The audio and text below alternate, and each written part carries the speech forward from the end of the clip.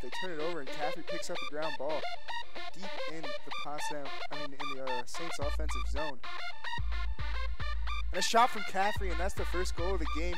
One nothing Saints off a turnover caused by Caffrey.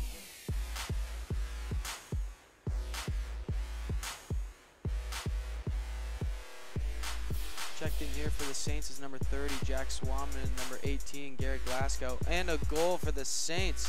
Connor Caffrey finds a little bit of an opening. Yeah, that was directly from behind on Glasgow.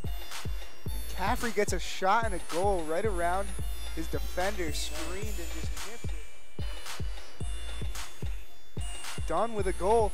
Alex Dunn scores there as he just picks the defense apart and comes in and just drops was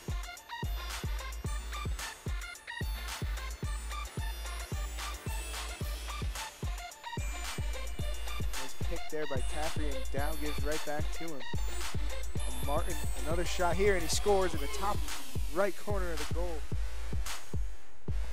Doesn't look like the Saints are getting so many takes initially here off. There's a take there from Martin. Now one is saved off a bouncer. Howard Henson. Hewitt is off to the races the other way. Got a fast break here. Potsdam capitalizes and gets their first goal. That was number 44, Lucas Bowden, seconds of the clear.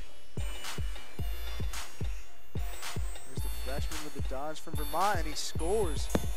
A nice little hitch there, and then he comes over top of a moving than a righty shot there. Picked up quick though by Corbell, and he finds Eddinghausen quickly, who is off to the races. Fast break here, and a shot by Hennessy, and that one blast past the keeper. That was a rip. The goal is wide open though. And Boley's gonna pass it. And a nice decision there by Boley, who gets it up to Gallup. Face off win. And he's gonna take it one-handed into the zone here. And Eddinghausen gets a goal. He gets it off the face-off and takes it right down the alley. There by number 9, Patrick Abad, who will find Charlie Gallup right up front.